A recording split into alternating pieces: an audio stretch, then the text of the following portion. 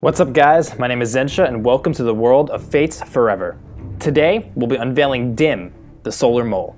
Dim is a long-range mage who channels the power of the sun to blind, burn, and defeat his opponents with highly damaging spells. Let's take a look at Dim's abilities. First up is Dim's passive ability, Sunburn. Sunburn applies a damage over time debuff whenever he hits an enemy with a spell. This debuff burns for a few seconds, dealing percentage-based damage to the opponent. This is powerful against bulky targets with lots of health. His first active ability, Light Line, allows the player to draw a line on the screen and erupt solar energy along that path. The eruption deals damage and causes the land to burn, dealing further damage to enemies who stand on it. This is Dim's most versatile skill.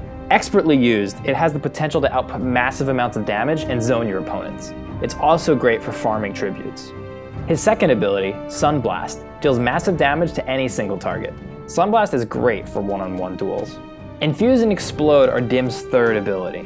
When Dim activates Infuse, he consumes himself inside his solar orb. While infused, Dim can still cast spells and be hit by magical spells, but he cannot use his basic attack, cannot be hit by basic attacks, or take physical damage. When Infuse expires, Dim explodes the sun energy around him, dealing damage and blinding nearby enemies.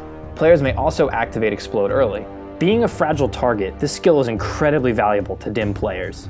Used at the right time, it can completely swing a battle in Dim's favor. Dim's ultimate, Solar Flare, allows Dim to channel a solar flare at target location, which heavily damages and stuns all enemies in an area around it. I hope you guys are as excited to play with Dim as we are. Thanks for watching, and I'll see you in battle on the Veil of Redemption.